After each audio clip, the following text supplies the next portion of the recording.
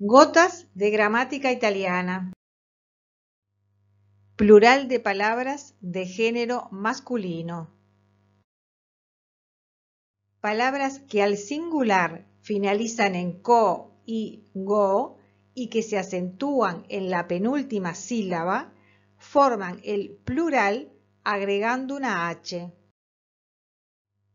Ejemplo, il parco i parchi, il mago, i maghi. Palabras que al singular finalizan en co y go y que se acentúan en la antepenúltima sílaba forman el plural con la regla general. Cambian la O por la I. Ejemplo, il medico, i medici, il biologo,